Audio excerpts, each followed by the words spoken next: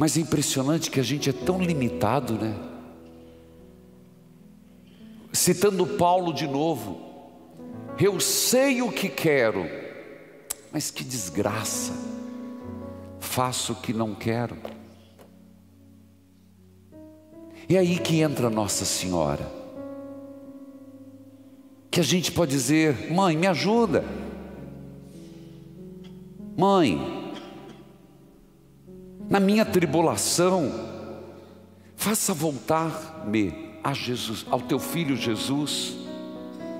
Hoje, uma ouvinte usou o termo: Ah, o Senhor sempre diz: quem tem fé não tem medo. Eu a corrigi de uma forma, porque não é bem verdade assim. Quem tem fé pode ter medo, quem tem fé não se desespera, é diferente.